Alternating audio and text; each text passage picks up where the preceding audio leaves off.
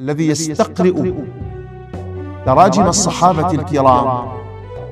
يستقي منهج الإسلام بالواقع العملي